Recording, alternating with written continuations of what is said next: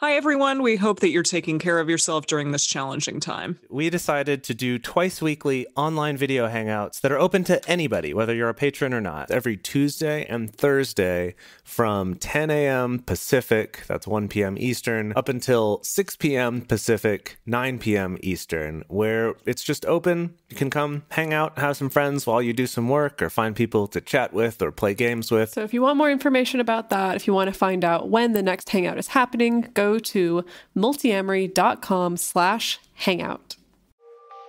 You're listening to a pleasure podcast, a podcast network revolutionizing the conversation around sex and relationships. For more, visit pleasurepodcasts.com.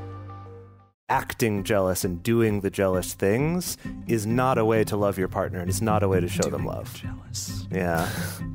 Don't Doing do the the jealous. Don't do no, the jealous. Don't you do that jealous. You can you Yeah. can quote us on that. Welcome to the Multiamory Podcast. I'm Jace. I'm Emily. And I'm Dedeker. We believe in looking to the future of relationships, not maintaining the status quo of the past. So whether you're monogamous, polyamorous, swinging, casually dating, or if you just do relationships differently, we see you and we're here for you.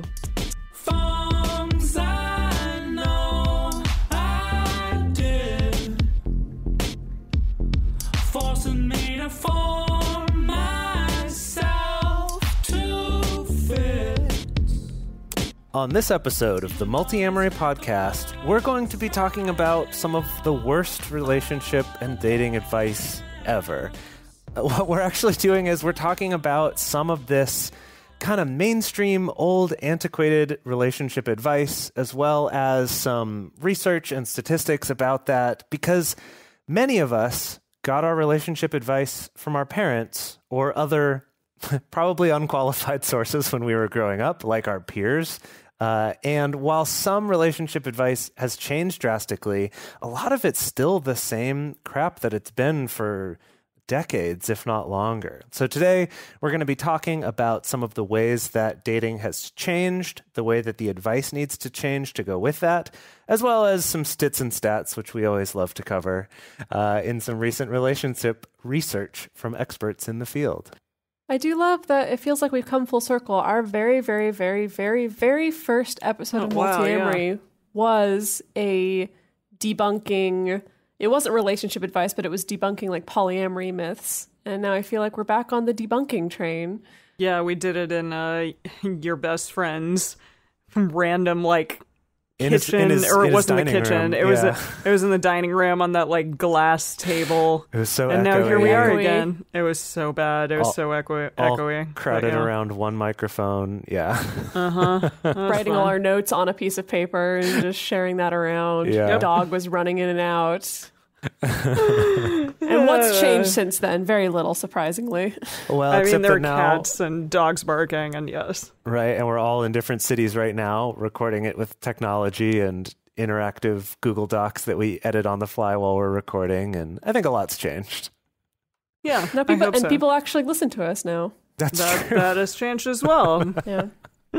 Perfect. Okay, gang. So I have to give the disclaimer. Our goal in this episode is not to piss all over more traditional ideas of love and family or marriage or traditional relationships or things like that, but rather we think it's important to show how the goals of relationships have changed over time and our approaches to relationships have changed over time, maybe arguably for the better. Um, and also talk about how, you know, the old advice that many of us were given, that many of us grown up with, many of us were socialized with, is not necessarily the best advice for modern relationships. And again, most romantic advice that was probably written mm, pre 2012, I'm going to say. Jane Uh, Austen era. No, I was just saying anything that was written pre 2012 was primarily written for heteronormative couples. So bear that in mind as we go through this. Yeah, absolutely. Well, it, when I was kind of researching and looking up this episode, it, it sort of prompted me to think about myself growing up because I kind of grew up in a fairly non traditional setting, which was, you know, my mom and dad had an affair.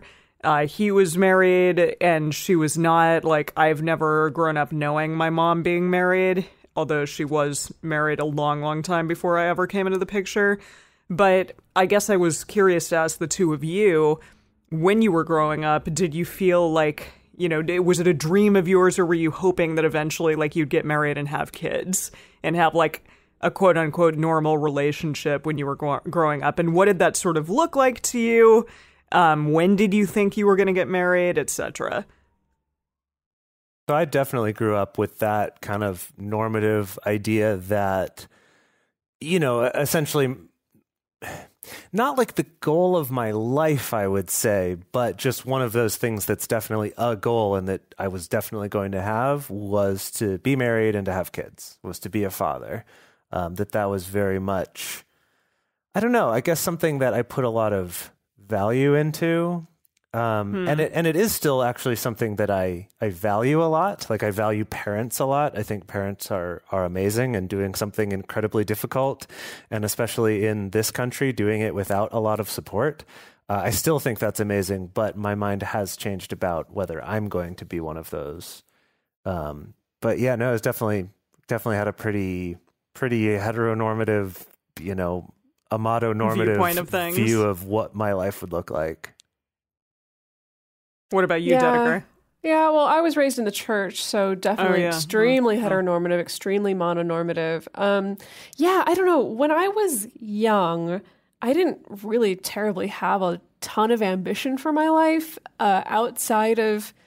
I mean, like I had certain like little dreams that I would have here and there, and and things that I wanted to do. But I do know that like the church kind of set me up to really feel like getting married is the accomplishment.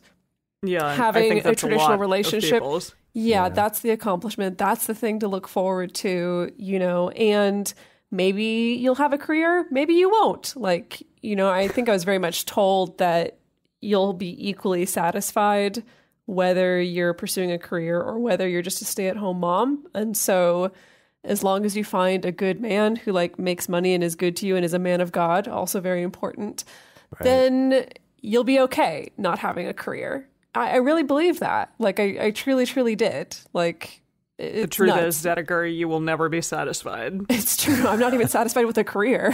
no, I'm kidding. Yeah, that was the Hamilton reference for all of you out there. But yes, and and honestly, I think to me, as far as your question of when I thought that I might get married or might have this normal relationship, um, I was also raised in purity culture.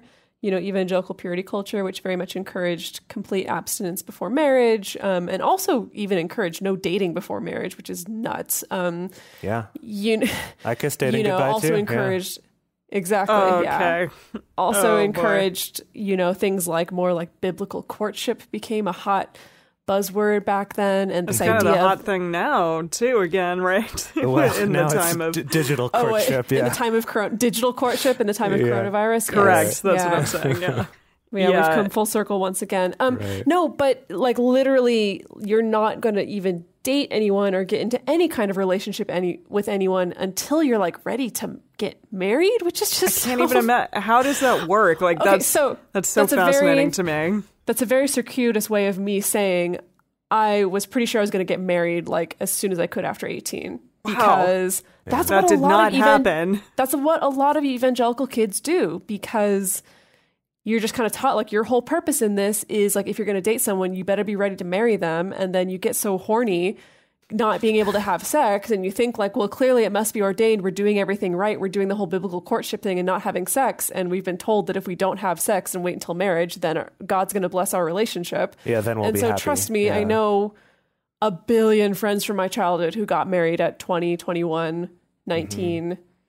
and then they all become my clients to be totally honest Oh boy, I love that. Yeah, no, I Yeah. I- as far as when, yeah, I definitely assumed. I guess during college, and was always like even. Well, you were engaged in college, right? I or just in- afterwards? I got engaged right like the summer that I graduated. Yeah, um, got engaged and didn't end up getting married. And looking back, I'm like, you know, I was 23 when I got engaged. Looking back, I'm like, that's too young for anyone to know who they are and what they would want for that Oh, long. yeah. But to me, that was like very much a normal age to do it. The fact that I hadn't married someone that I dated in high school, I was like already maybe behind the times, possibly. So yeah, it's just that like the wow.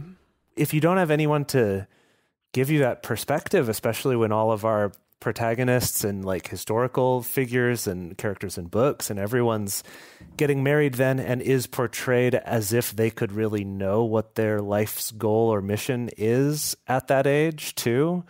Uh, you have no frame of reference. You're like, yeah, of course.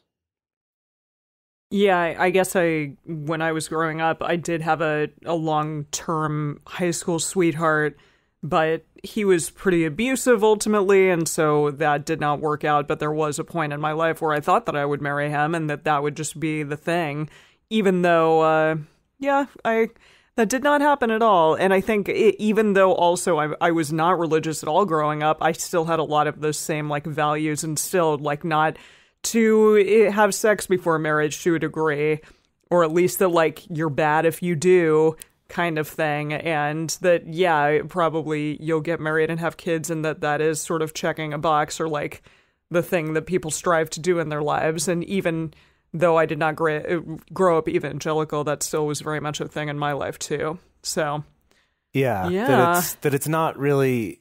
I think a lot of people blame it on Christianity or hmm. religion, but I I think it's it's so much more a part of our culture than that. And I think Emily, actually, you've been someone in my life who's really shown that to me. Um, in in everything, you know, with the struggles that we've had with our families when coming out as polyamorous or non-monogamous or or other things that you've told me about, you know, growing up completely atheist was just sort of like, yeah, this isn't this isn't actually as different as you would think, right? It's not like, Yeah, oh wow, she doesn't have all the baggage that I have. It's like, no, we still had it, just like in different words, right? Yeah, I don't have like the biblical baggage, but I do have a lot of other baggage that comes with just like growing up in our society in general. Yeah. Which, yeah, I think is some of what we're going to talk about today. So, along those lines, um, let's talk about this very interesting Match.com study. Can you take it away, Jace? Yeah. Okay. So, so first of all, we're going to preface this by saying this is a study that was done by Match.com back in like 2015, 2016. 2016. Well, 2016 is the article that we got a lot of this from, but the study was actually going on before that, I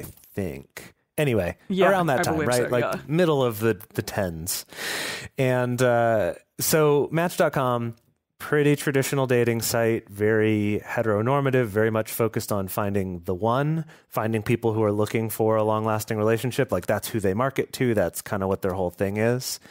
And they did a study with 2,000 of their users who asked questions like, in your relationship, when did you become Facebook official? Quote, or when did you meet your first partner, or things like that. And we just wanted to share some of the findings from that, and then we're going to discuss them. So, first one here is that I hate the wording of this, but the average woman, Yeah, the the average woman whoever that might be. the yeah. average woman finds her life partner at the age of 25, while for men, so young still. it is very young. While for men, they're more likely to find their soulmate at 28, Okay. with half of people finding, quote, the one in their 20s. Okay, yes. Now we can agree that this is a little bit nausea inducing. However, when I was 25, in the relationship that I was in at 25, I was pretty convinced. Yep. This is Oh, my yeah. life partner. And I want this person to be my life partner. Like, so of course, if you'd asked me, Yeah. especially if I'd, I'd gone on to marry that person, if you'd asked me, I'd be like, yeah, I was 25, you know, yeah, Yeah, yeah, yeah. my soulmate. Oh, yeah, found I the guess- one. Yeah. I guess when I Mm-hmm. was 25, I was with you, Jace. Aha. I win. I got you right in the right window there. Now that's Uh. interesting because ironically, maybe you are soulmates because even though there's no romantic relationship, it's like Mm. he's still entangled you in this whole business partner scheme. True. This whole That's a really business point. partner podcast co-host scheme. Right. so funny. Yeah. Yeah. I mean, yeah, that is that is fascinating. But I, you kind of it, were with me in a very big like changing point in my life. I think for a lot of things, including a lot of these ideals. Right. So, Yeah. what were some other things that this study found? Yeah, so next one, and we'll, we'll talk about these more later, but so the next one here is that um, most people waited five months to say, I love you for the first time, which to me, that seems slow. I feel like every one of my relationships, it's been I know. well I was before oh, it's five really months. slow. So that was interesting. Oh, I think my my personal average is usually about four months. Mm, I think mine's usually three. Mine's like a month. okay. Well, maybe not go. the maybe no i mean i think the most recent the relationship that i'm in now that was a month but i think before that it was it was definitely longer Uh, I hold out. I Yeah. do I put yes, I put kind of some strict standards on myself that like before Oh, I can all say I love you to someone, I need to see them have a bad moment hmm. and see how they deal with it before I feel comfortable declaring my love. wish i had done that with our mm, ex mutual partner dedeker Well, but, yeah well, here we well. are Here we are. that'll Okay. happen Moving after the fact okay Uh, and then, as far as updating their relationship status on Facebook, uh, was also five months, and then six months until they were given their own drawer at their partner's home. So it's Oh, interesting how I- it, it seems like the "I love you" and Facebook official comes very shortly before that own drawer. Yeah, that's funny that th- the drawer is now a, a milestone. It's on the relationship escalator, y'all. no maybe we should add that to the relationship escalator when we're Yeah. talking about it Aw. Yeah. when kinda yeah funny. The when you drawer, get your th- own drawer The drawer thing's funny though, because I mean, for me, it's different now because I don't really have a permanent place of my own. But when Uh. I did, for me, I was like, "You've come over, you know, more than three times. Like, here, I'm going to make a space for you to leave stuff if you want to." And not everyone takes me Not up on six it, months but I was just sort of like, "Yeah, sure, why not?" Like, what? But how much? Okay, if someone's only come over to your house three times, how much do you give them a whole drawer? How much space do you give them? Um, I don't know. I guess it depended. I ha- also had a lot of of closet space in that place. yeah i don't So have that i don't like- have that much space here's some you know here's some here's a space for you to keep like a change of clothes or two so that if you spontaneously spend the night you have stuff here right that was more the idea Those are maybe really that's cool a good. place.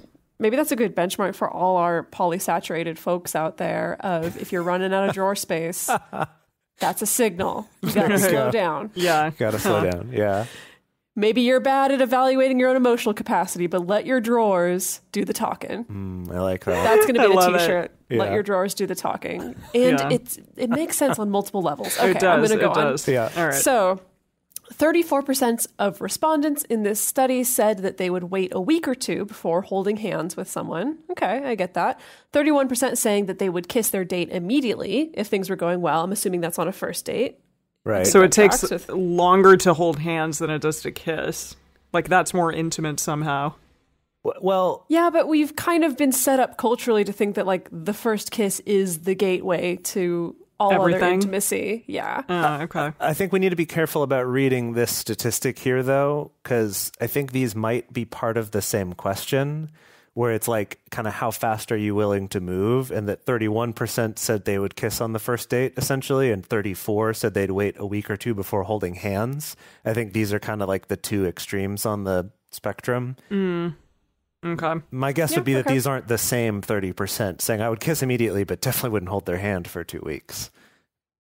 I don't know. In my personal experience, again, like I'm saying, because we've really been set up by culture and media and movies and stuff like that, where it's like the kiss is the thing that then opens up all the other intimacy, you know? Because think about it. It's like in your favorite rom coms, you don't see our characters like holding hands first or like cuddling first That's true. before they kiss. It's like we've been set up so that the kiss is the turning point. And so, yeah, it mm-hmm. totally makes sense that Yeah, I would kiss right. someone first, but I wouldn't go for their hand on a first date. And honestly, times that people on first dates have gone for my hand on a first date. You're like, whoa. It yes, my initial intimate. reaction has been like, "Whoa, uh, we haven't kissed yet. Does that mean we're gonna kiss? Oh, what does this mean? I don't know." And then my Uh-huh. hand is like s- dripping with sweat, and it's awful. I'm sorry to hear that. Okay, I'm going to keep moving along because I don't want to talk about that anymore. So, 27% said that they would wait between one or two weeks to sleep with their partner for the first time, and 23% said that they would wait up to a month. Okay.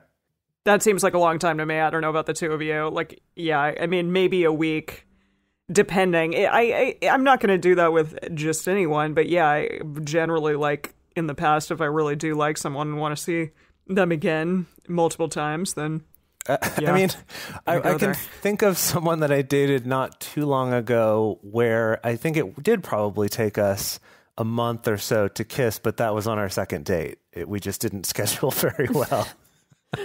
this Right, is now- sleep with your yeah. partner though. oh, this was sleep with? Oh, I thought this was we're still on kissing. No, No. no, we've moved on, Oh boy, well we never slept You're going too together, so slow. infinity time. That's Oh. Oh gosh. Okay. All right. I don't know. Infinity time. What Yeah. about you, Dedeker? Do you think that this that a month is a long time? Because You know what? When I was kind of in uh, like the pendulum swinging the opposite direction from purity culture, and when I was realizing like, oh, all this is toxic, like this is ridiculous, like why do we punish women's sexuality and like guilt people into not sleeping on a first date and stuff like that? Um, you know, I would have been like a month, like that's way too long. What are people thinking? That's ridiculous. And honestly, now, especially the past few years, like my dating approach has slowed down so much that I honestly I may as well be Jane Austen at this point, where I'm just like, yeah, we're just gonna sit and I'm gonna stitch on my sampler. We're gonna talk about the weather, and especially right now, where it's like I'm probably not gonna physically see you for another eight Right. months or whatever. I'm like, Oh, let's boy. just oh boy, really take it slow, walk through the countryside, enjoy the heath, you know, write some poetry, cook some- cook some chicken pot pie. That's kind of my approach these days. Okay. What's yeah, I don't know what a heath? heath is either. What's a Heath? A heath, it's very Jane Austenian. Uh, it is an area of open, uncultivated land, especially in Britain, with characteristic vegetation of heather, gorse, and coarse grasses. So, you know, literally every single film that you've seen that's a film adaptation of Emma or whatever the heck. Pride and Prejudice. Yeah, where Pride and Prejudice, Keira they always Knightley take- is running through the fields. yeah, the they're always taking strolls through the heath and stuff That's like the that. heath. Okay. Okay, Yeah. I love it. That's amazing. All right, so the first argument normally takes place around the six month mark. So six months that that's a lot of different things. You got your uh, your drawer space. You got your I love yous. Yeah, you and just you got, got your added ang- on Facebook. Yeah, and, then then, you you, also get an argument. Exactly. That's all, Um, but six months, that's also kind of the early end of the range of when NRE chemicals start wearing off. That's Yeah, true. Maybe makes that's sense. why. Mm-hmm. And also around six months, people tend to introduce partners to their parents for the first time. Hmm. So Yeah, it's it's a real make it or break it kind of time. Yeah, yeah, Yeah. I guess so. And then finally, oh, here's this one 33% of people will have their first conversation about the future within one year. And engagements typically happen after two years, and then weddings take place after three, and kids after four. Just boom, boom, It's boom. really one all year those after another. Yeah. Yeah. boom, boom, yeah. boom. So I was interested to see kind of what these statistics tell us, what this hmm. like study tells people out there in the world at large. Like, did you two get any particular feelings from hearing these studies? Well, something that I want to point out is just reminding people that this was from 2015, 2016. Mm-hmm. You know, Right. This isn't it's like, old. Yeah. This is pre Yeah, this isn't old. This isn't well, but this is not from like the 90s or anything No. like that. It's like clearly our idea of traditional relationships, of finding the one, of finding soulmates and stuff like that is still going strong. And people Yeah. are riding up Yeah. that escalator, like still going strong. Which is again to remind people that's not necessarily a bad thing, but it is kind of funny to think about how um, I know the three of us live in this little bubble where everyone's in weird, non-traditional, revolutionary relationships, um, and yet traditional relationships are still taking the cake in many regards. Yeah.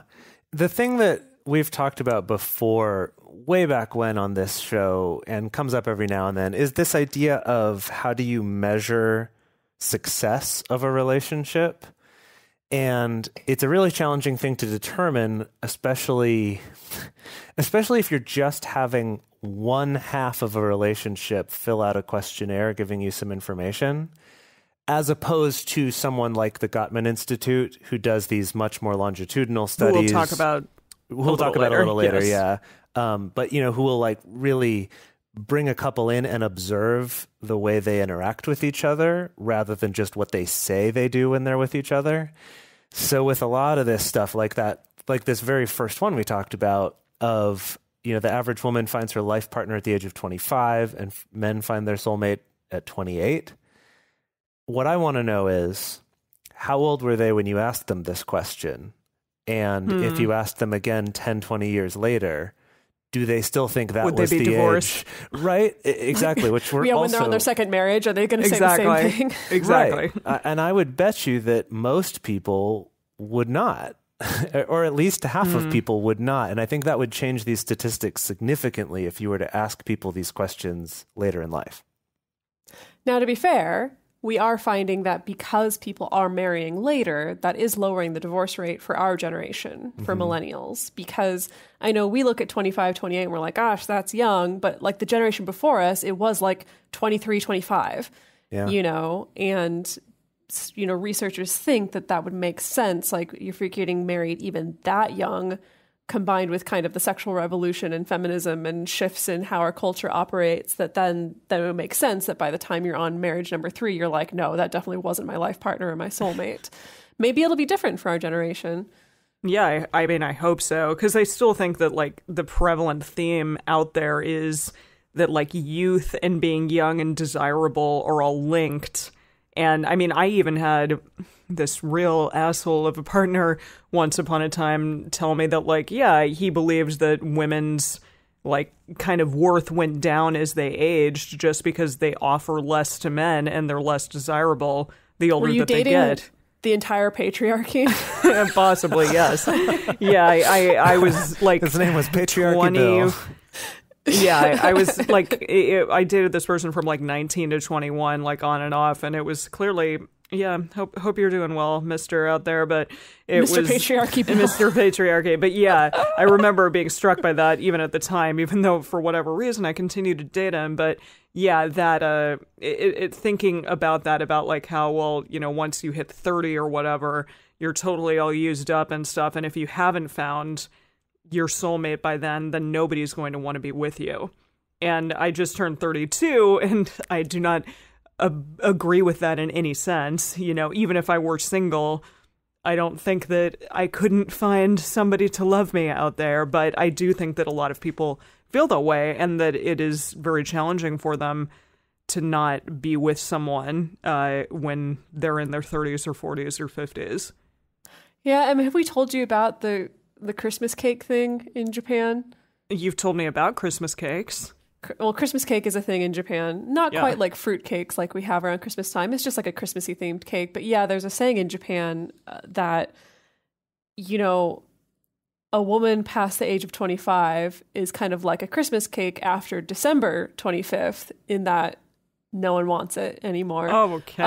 Yeah, Um, which wow. is yeah is Wow, okay. Japan.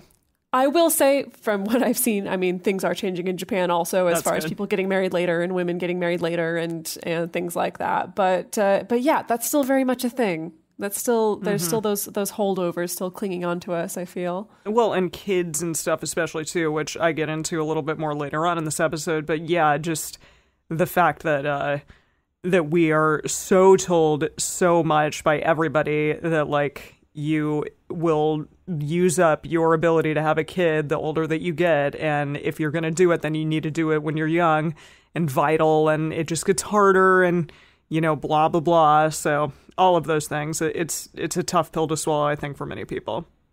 Okay, so those were all statistics that, from what I'm guessing, it sounds like these are people self-reporting. Yeah. Are y'all getting that same sense? Yeah, yeah, definitely. um, you know, Match.com. Well, that's how they Which did makes it. It was, it, it, it was a questionnaire. Yeah. That's that's not even just hearsay. That it was a questionnaire that was sent to their users. So yes. Right. They're not going around shoving microphones in people's faces on their first date. When did you get your soulmate? So we're going to look on the opposite side of the research that the Gottman Institute has done, um, not based on self-reporting, but literally based on observation. You know, we've talked about the Gottman Institute before. They do really, really rigorous research on relationships. You know, like even to the point of literally having couples live in a studio apartment that they have rigged up with a bunch of cameras and microphones and Wow. taking their blood, taking their urine like at every couple of hours and stuff like that, like coding It's- their facial expressions, like writing down literally everything they say to each other to like really, really codify and research what is going on with these couples. Yeah. what like does blood their, and urine have to do with that? Their hormone They're looking at like cortisol stuff. levels, Yeah. hormone oh, levels. Oh, okay. Yeah, yeah, yeah. They go really, really thorough with this stuff. They also do a lot of recording people in therapy and codifying facial expressions and heart rate and breath rate and oxygen levels and like all kinds of stuff. So Yeah, it's Goodness. super they get they get all sciencey sciencey with relationships. So, but specifically, we're talking about their research on when and why relationships fail. Because I think we also have a lot of questionable relationship advice and platitudes out there about why relationships might fail or might fall apart. Um, but based on their research, they found that the average couple wait six years before they will seek help for marital problems. Um, I'm assuming meaning they've had problems for six years before seeking help. Or is that Most just six years from getting married? Now I'm not sure which which one that It- is. it- this was literally what it said, so I'm assuming from getting married. okay, got I don't it. know. Yeah. So they're coming That's up on the good. seven year Ask the itch. Gottmans. They're coming up There on the go. seven year itch, and they're like, okay, let's do some therapy now. Okay. Yeah. Yeah. Uh, they find that 67% of couples experience a precipitous drop in marriage satisfaction in the first three years of a child's life. That makes sense. There's a lot of factors that contribute to that. You know, of course, one of them being that it's becoming increasingly harder and harder to raise children, especially in America with very little social support. Um, and the first three years is hard. That's when your child needs the most care. They do find that marital satisfaction dips in the first three years, stays pretty low, and then starts to gradually climb up again as soon as, They get the, heck out of the house. yeah, basically, basically, as soon as like the youngest child turns 18, then marriage satisfaction starts creeping back in. Um, they also found in their research that stable relationships have a one to five negative to positive interaction ratio. And I'm going to clarify that a little bit. It's one to five during conflict. So, as in healthy relationships, when the people are having an argument or in some kind of conflict, they have five positive interactions for every single negative interaction that they have. Um, to extrapolate this out to periods where they're not in conflict, it's actually one to 20. So stable Wow. relationship, yes, yes. Wow. So 20, Yes, yes, 20 yes, positive yes, yes. interactions to one To negative one? one. Yes, outside of conflict, yes. Yep. Wow. Uh, Yeah. and by contrast, unstable relationships have a 0.8 to 1 positive to negative interactions. So, So, it's like a, a slightly positive in- interaction. No, Just for like, every negative interaction, they have 80% of a positive interaction. Right. even worse than that, Em. Yeah, that they're not even having a one full positive interaction in between each negative. one. exactly. Wow. There you go. Uh, wow. Now, that's- this is something we have talked about in past relationships that this ratio is really important because even if you have a 50 50 ratio of like, yeah, half the time it feels good and half the time it's really bad, it's like, no, that's just bad.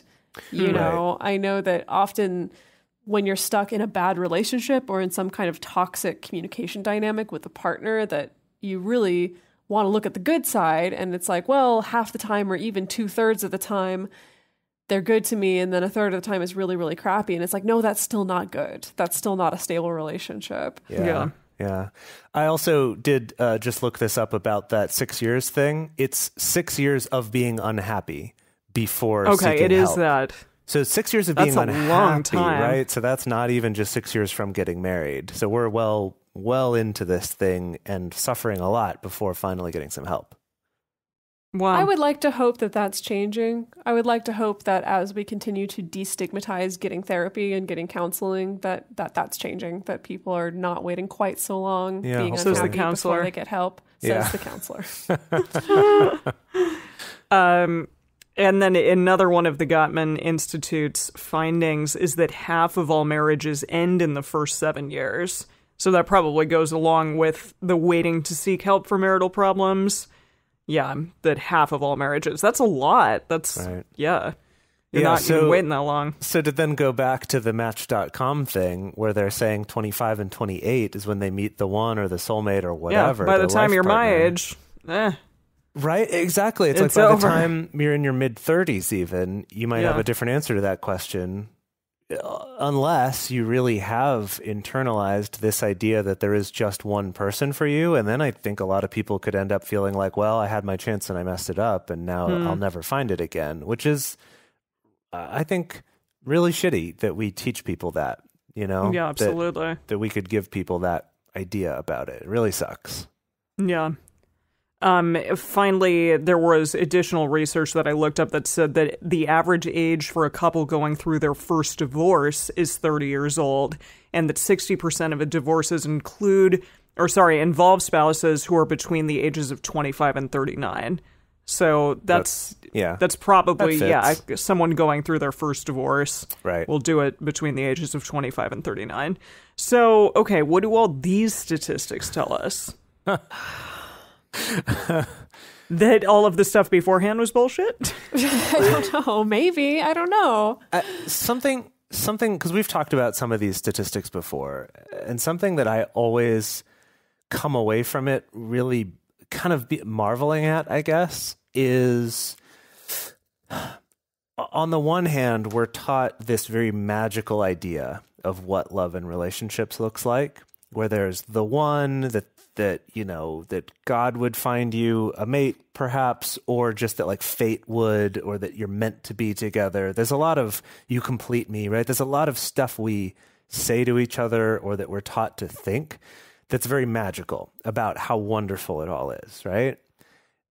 And yet at the same time I feel like most of us get raised with these very, very low standards for how good a relationship not only can be, but should be. That in order for it to last, it has to be this good with the 20 to 1 thing, right? Of like, you need to be having, like, you should, you deserve to, and it's actually possible to find a relationship where you're having 20 positive interactions to one negative one, not just during that first year, but long term and that even when you're fighting, still having more positive than negative interactions, even during that. And that for me is the thing that I, I never, I was never raised to think that that was a standard you could have, that that would be hmm. reasonable. That, you know, it's like you have this fairy tale idea where you never fight, and then you have the reality in all the sitcoms of you're fighting all the time. And it's like the, the truth is somewhere in the middle here, and we don't get that. So there's this weird, I don't know, this weird dichotomy of like, we're taught this magical idea, but then also not taught that it's possible to have an actually happy, stable relationship. yeah. Hmm. Yeah, I think looking at these statistics, it just makes me think that it's really important to internalize, just get help sooner rather than later. Um, I know I definitely feel that way about people who are first tackling non traditional relationships or opening up their relationship or something like that. Is like get support sooner than you think that you do. And that support doesn't have to be intensive therapy or intensive couples counseling or whatever. It can be reading a book. It can be listening to a podcast like ours. It can be joining a community where you're able to get support or, or things like that. But yeah, I think that like with relationships in general, whether it's monogamous or non monogamous, it's like get some kind of help and support sooner than you think that you do. Like don't wait six years of being unhappy before before finally getting help. Yeah. The- and again, I hope that those things are changing now that we are kind of moving into a time period of uh, different relationship styles coming out and being prevalent and being heard and being thought of as being okay. And yeah, that hopefully those things will change. Yeah, exactly. It's just it's so much easier to fix something that's that's difficult when you do it right away. Right? It's like if someone does something that bothers you and you talk about it right away, that's much easier to resolve than 6 years of learning to resent them and hate them for it. And then even if they're trying to fix it, you you won't receive it cuz you're you- you've just so entrenched yourself in hating them for it or being angry at them or resenting them for it. So, we're going to go on to talk about some very commonplace relationship advice that exists out there and why it's terrible. But before we get to that, we're going to take a quick break to talk about some of our sponsors and ways that you can help keep these resources available for everybody for free as a podcast by going to our sponsors and supporting us on Patreon. So, our beloved adamandeve.com is this week's sponsor. Um, and we really love them just simply because they have been with us since the beginning of Multiamory. Uh, and that's awesome. We love like brand relationships. No, I'm kidding, but we just love them. They're awesome. Uh, and if you are in a relationship, you might be having sex. And so you might need some sexy things.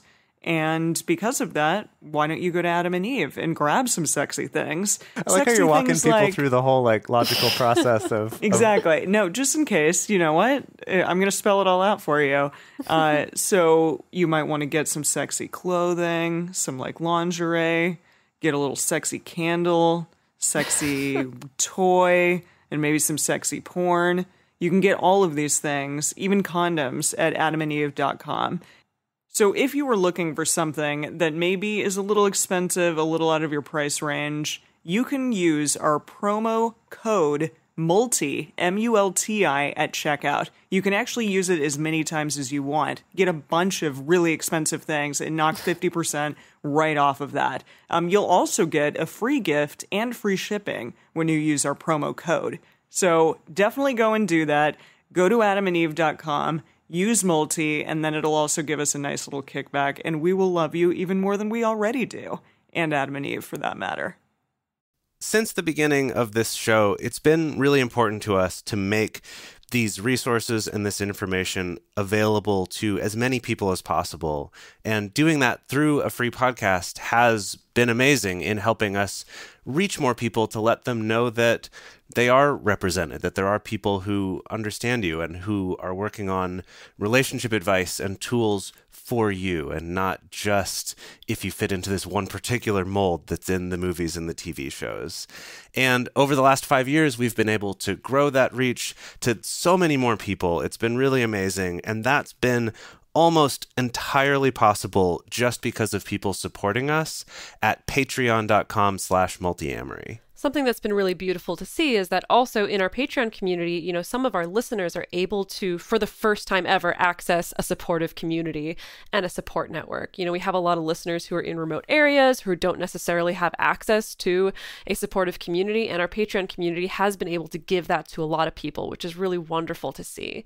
And so we really appreciate the people who are in our community who choose to support the show, and we want to give back to the people who are going out of their way to help us keep making this show. So, some of the cool things that we offer as a thank you include private Facebook and Discord communities just for our Patreon listeners, having early releases on episodes, getting bonus episodes, and also private video discussion groups. We love getting to give back to our community in that way. So, if you do want to join this amazing community of people who help make this show possible, go to patreon.com slash multiamory today and become a patron of ours. We'd really appreciate it.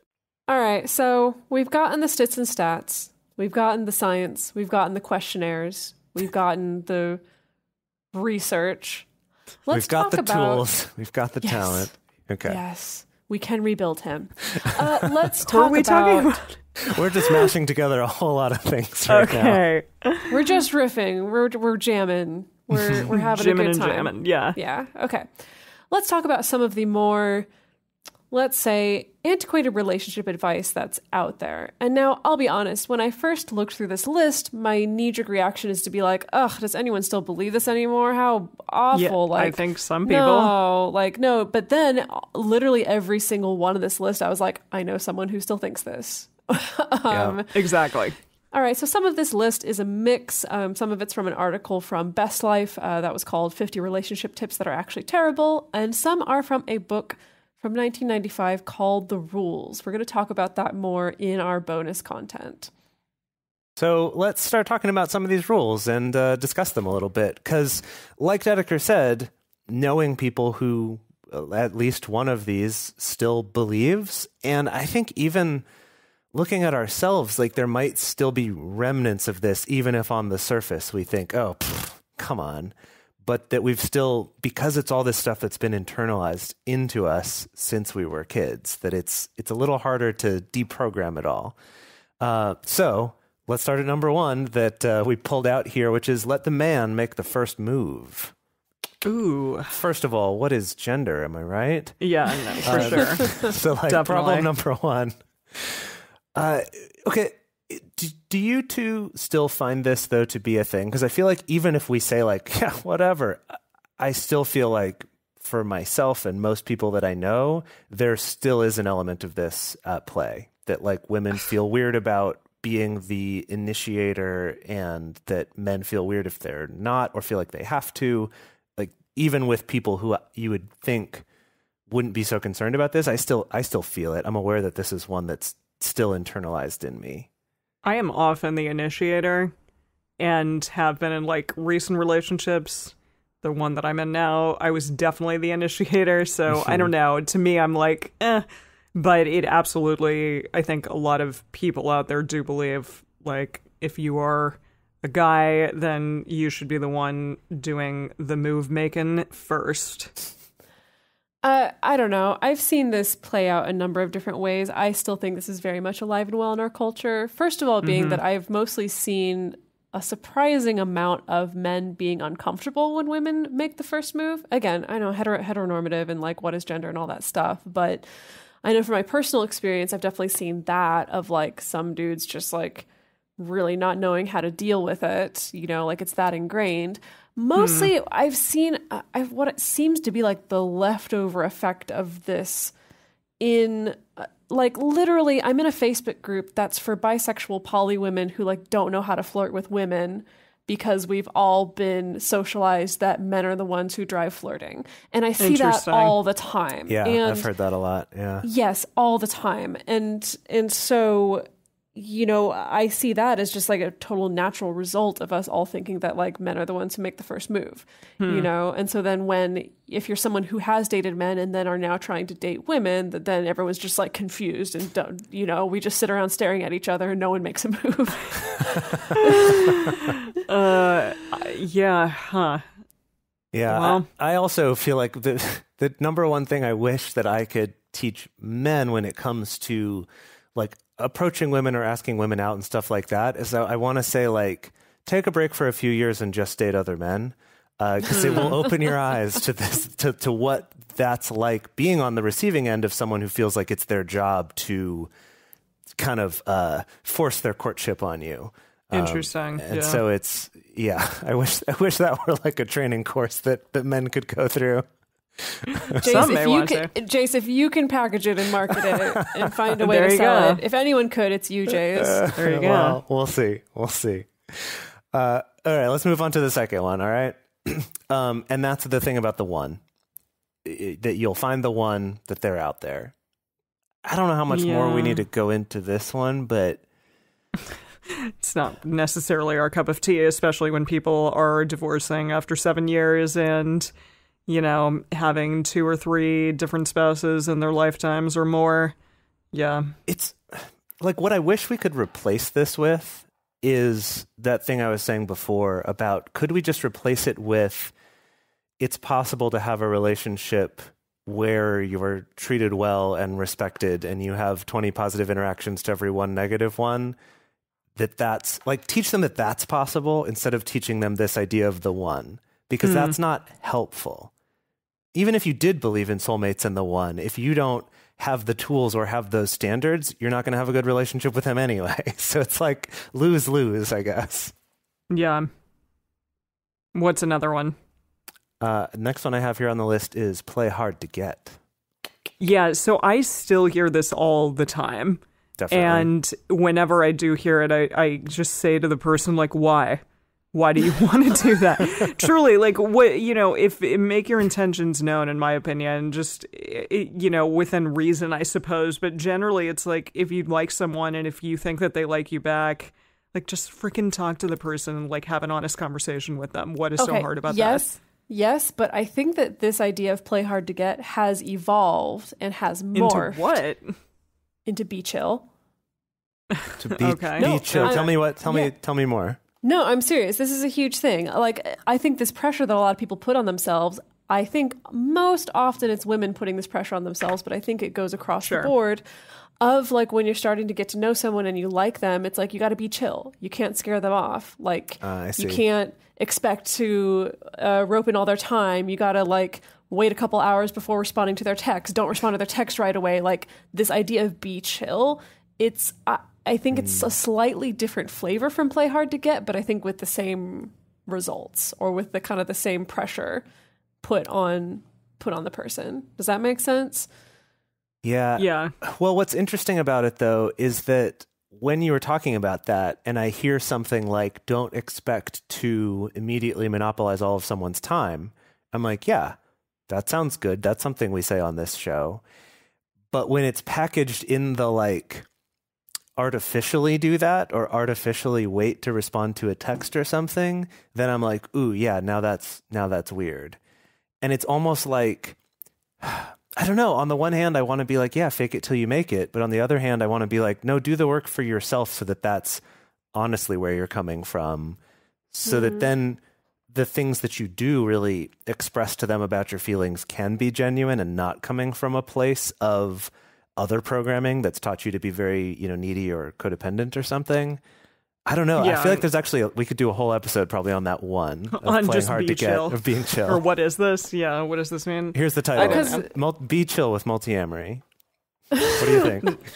I like it. Let's do it. Put it on the list. Be chill on Well, but- Netflix with Multiamory. yes. but but there's this other layer to it of and again well this will go into our full episode where we explore this whole thing but there is this other layer of you know we're so used to there being just this harsh binary between either you're my soulmate and we're going to get married or you're just a casual hookup that like there's no space for any actual feelings in hmm. there in the in between you know and hence why it's like if I'm casually dating someone, I cannot show any feeling whatsoever. I think that's part of the whole be chill culture also. Like I cannot indicate that I like them, I can't really compliment them, I can't you know, to like really give any tenderness or affection because they're going to think that I'm trying to rope them into marrying me or whatever. And so I think that Yeah. this whole play hard to get be chill thing is, is part of that as well. Yeah. Yeah. Uh, so let's keep rolling along. So the next one is to never go to bed angry. I definitely heard that one a lot. I also heard kind of the joke version of it, which is like, don't go to bed angry, stay up and fight, uh, which I Which is exactly like That's- that's, that's what what, it that is, means. yeah. That's what it is. Yeah. Uh-huh. Because Um, generally, I, to me, like you need to get away from the situation, and sometimes that means go to bed, wake up the next day, and you know have a clearer, calm mind about it. Now, it, it also is like the exact opposite of HALT. It's Yeah. like rather than stopping when you're hungry, angry, lonely, tired, it's like no, you can't go to sleep. You got to power through this, which isn't going to mm-hmm. serve Stay anyone. up forever. I heard a, a related piece of advice from in college. One of my girlfriends got this advice from her parents, which was never play backgammon with each other before going to bed.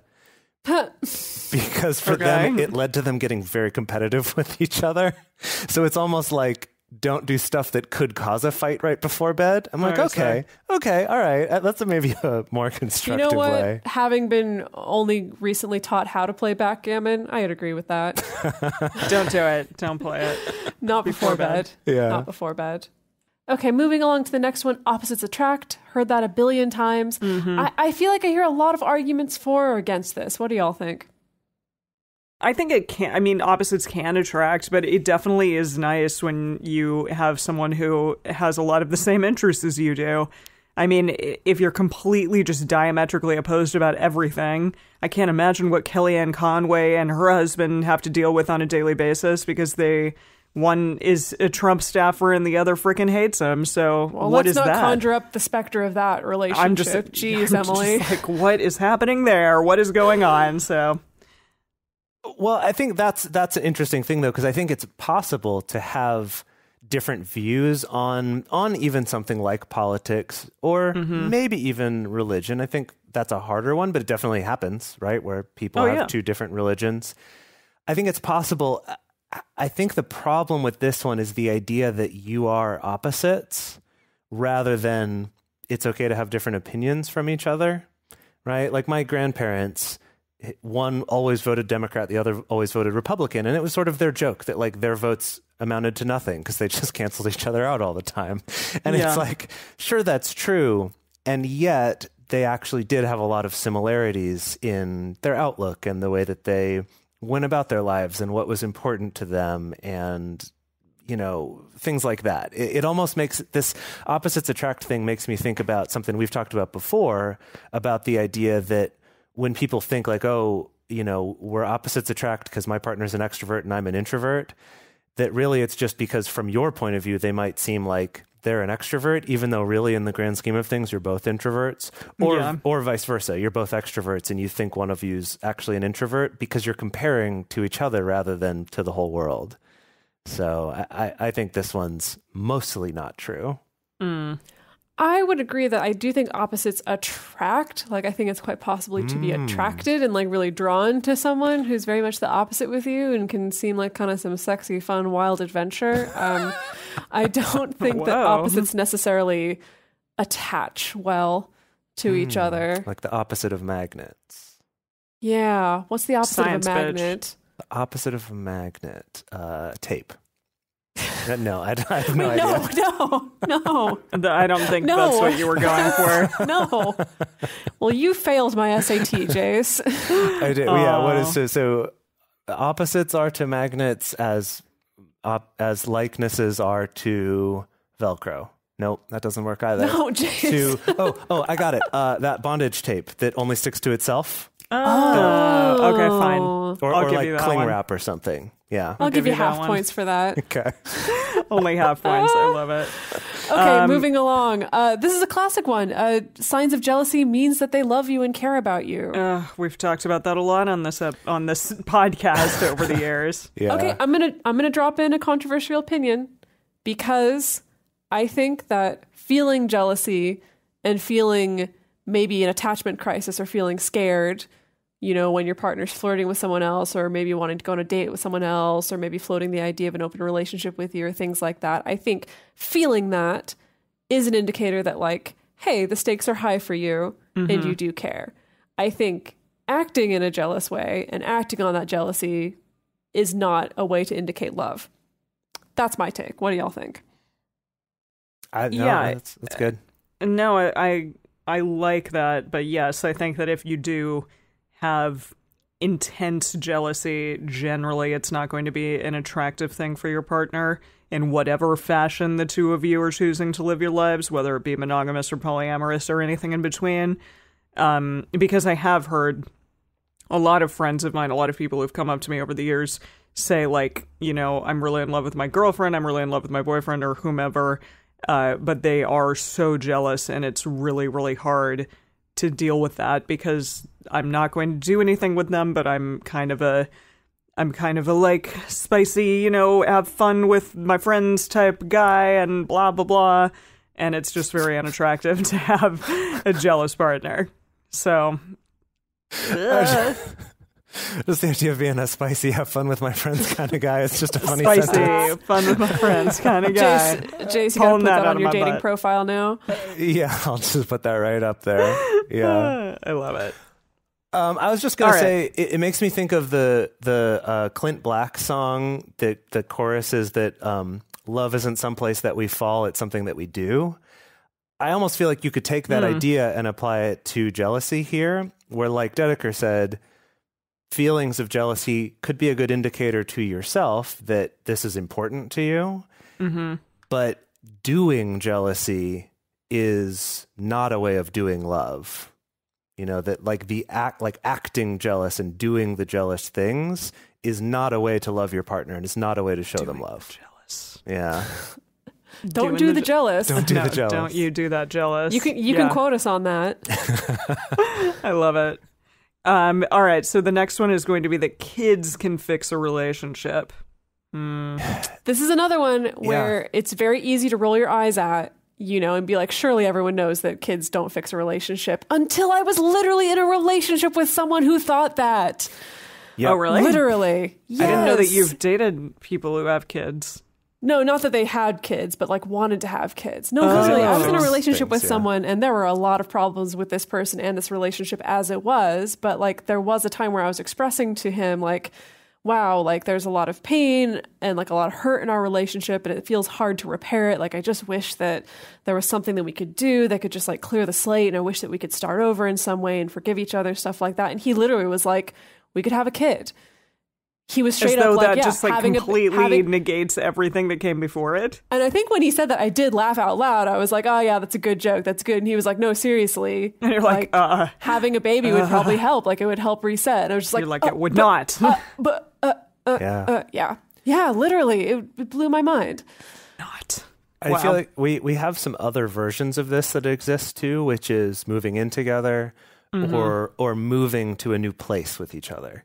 That I think those two kind of fall into this similar category of there's a problem, and our idea for fixing it is to get ourselves into more of a situation that makes it harder to actually address the problem because we're adding some other stress on top of it. Uh, it but it's it's very prevalent that that thing of like Or- it's difficult, but uh, it'll probably be easier if we live together.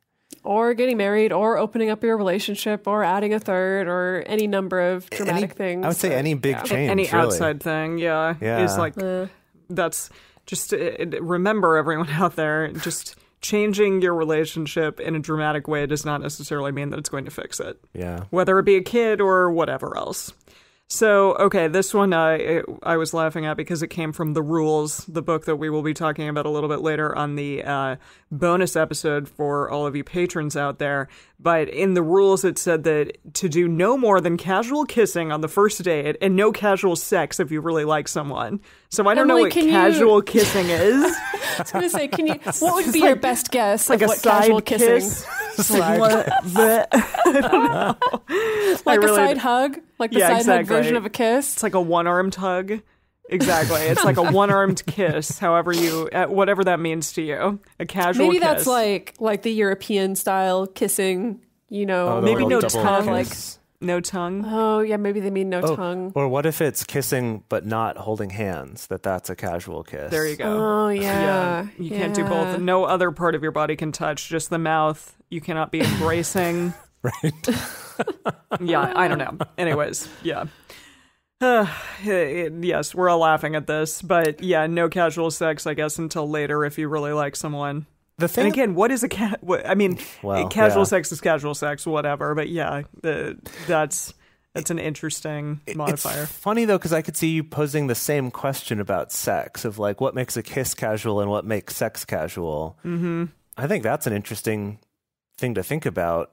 The thing I wanted to bring up about the sex one or the kissing, I guess, but I I feel like it, in my life it's come up more around sex that I've heard people say like, "Oh well, I actually like this person, so I'm going to wait Yeah, a little while to have sex with them." and it's like, why? Well, there's Go this for it. there's this tough thing because most like statistically speaking most new relationships or people that you date probably aren't going to work out you know just just statistically like you're going to date a few people before you find a relationship that lasts a while however Mhm. long that is and so it's very easy for someone to then in retrospect blame themselves for having done this thing too early right? For having had sex too early. That it's like a really easy one to find confirmation for like and to have your confirmation bias show that to you. But what i've found you know trying to be aware of that and really thinking about that and looking back at at all my relationships i've had some where we have had sex on the first date and some where we've waited you know where we've known each other for several months or even years before having sex. And when i actually look at it i'm like there's not a correlation between which No. ones turned into long-term loving relationships that even lasted after the romantic relationship ended versus ones that didn't. Like there's not a correlation there. It doesn't have to do with sex or not. Yeah, no, I completely agree with you. from from my experience at least. Yeah. Yeah. So, with all of this, we kind of just want to remind everyone that, you know, rules to relationships do not necessarily apply to you. Um, they may or they may not. And so, it's really very valuable to kind of take relationship advice with a grain of salt wherever it comes from and whomever it comes from, even from us, just because people's personal biases are going to be attached to it. So, you know, you kind of need any relationship advice that you're getting to be tailored and designed to you and to the type of relationship that you're in. So that's kind of one of the reasons why we on this podcast throw a lot of things at you all out there because we also are just sort of picking and choosing the things that we like and choosing to give it to you or choosing to use it and implement it in our own relationships. So we hope that you all do that out there as well, even with some of this old antiquated relationship advice. If it works for you, great. If it doesn't, then yeah, take some other advice. Yeah, uh, but with all of that, like, still remember uh, our our main rules, which is don't sign anything in the first year. Yes. and it's okay to break up. You're not a bad person. Absolutely. All right, so we're excited to go on to record our bonus episode for our patrons, and in that we're going to be talking about some of the wackiest advice from the book of The Rules. So if you want a, a good laugh um, or maybe a view into the, the tragedy that is relationship advice in the mainstream, uh, stick around or become a patron for that. We would love to hear your thoughts. Were any of these things that you've struggled with or that you realize, oh gosh, I still have some of that in me. Uh, we would love to hear from you, and other listeners would love to discuss with you. And the best place to do that is in this episode's discussion thread in our private Facebook group or Discord chat. You can get access to these groups and join our exclusive community by going to patreon.com slash multiamory. In addition, you can share with us publicly on Twitter, Facebook, or Instagram. You can email us at info at multiamory.com or send us a message on Facebook. Multiamory is created and produced by Dedeker Winston, Emily Matlack, and me, Jase Lindgren. Our episodes are edited by Mauricio Balvanera. Our social media wizard is Will McMillan. Our production assistants are Rachel Shenowork and Carson Collins. Our theme song is Forms I Know I Did by Josh and Anand from the Fractal Cave EP. The full transcript is available on this episode's page on multiamory.com.